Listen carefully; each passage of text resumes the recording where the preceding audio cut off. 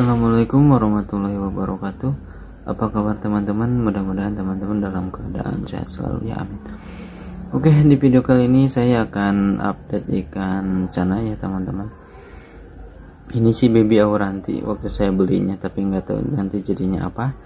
Cuman waktu saya beli itu harganya cukup uh, lumayan ada harganya lah ya dan ini udah saya tinggalin selama lima hari ditinggal mudik dan sekarang kondisinya seperti ini teman-teman.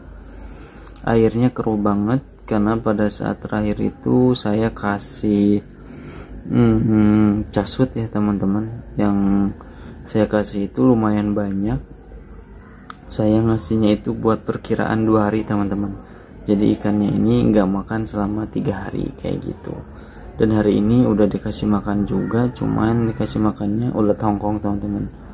Saya kasihnya dua biji. Di sini kalau bisa kalau teman-teman bisa lihat itu um, uh nggak jelas juga sih ya. Nanti setelah kalau misalkan udah saya ganti air udah ini saya update lagi teman-teman. Dan untuk uh, ini itu baru saya pelihara baru dua minggu kali ya apa berapa soalnya ini tuh ukurannya awalnya 2 cm kalau sekarang mungkin 3-4 cm kayaknya teman-teman. Karena udah mulai juga mulai keluar juga warna-warnanya teman-teman. Kalau teman-teman bisa lihat tuh cuma di sini kotor ya.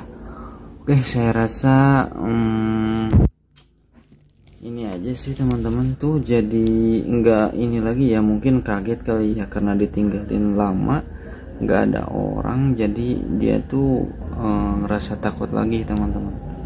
Tuh jadi airnya keruh nggak bisa diam si ikannya teman-teman. Coba kita lihat. Uh tuh kotor banget.